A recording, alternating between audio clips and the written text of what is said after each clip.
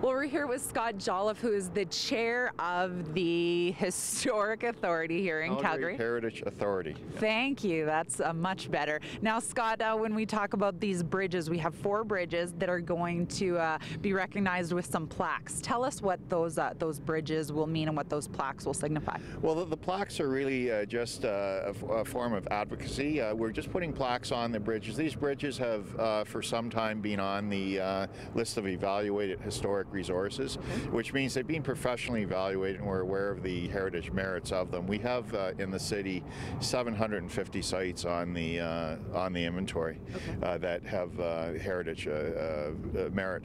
Uh, so what we're doing is putting plaques on these bridges, basically, so other people uh, know a little bit uh, more about them. Uh, obviously, these bridges are a big part of people's everyday lives. They they cross them, they walk across them, they drive across them. This particular bridge over the years has carried everything from streetcars to smart cars. So there's been a lot of uh, humanity uh, uh, crossing uh, crossing the bridges. So all we're doing is putting up uh, plaques to make people a little more aware of what they are and what they're all about. And a lot of Calgary Flames fans have gone over this bridge. Uh, yes, yes, in various moods, I'm sure. okay, when we uh, when we talk about being evaluated, what uh, what what are they looking for in terms of evaluating these bridges or these historical sites? Well, in a case like this, they're looking at the uh, construction techniques. Uh, this uh, bridge uh, was built uh, out east uh, in pieces uh, in uh, 1911. Would have arrived in Calgary by rail and, and would have been all dragged over here by horses and assembled uh, on on site here.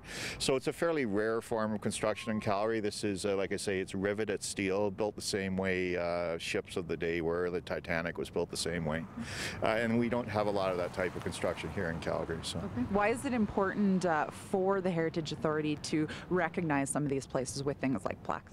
Well, we think it's important uh, just because it's uh, uh, heritage resources are part of our community. They add a, an interesting layer, another layer to the whole fabric of, of things. Uh, Calgary's a modern city, but it does have an interesting past. So the pieces that are left, we, we feel are worthy of recognition. Awesome, Scott. Thanks for doing that. Thank you so much. We're going to have more uh, throughout the show here on Go Calgary about the other three bridges here in our city that will be receiving the plaques. Uh, stay with us. We'll have more on Go Calgary.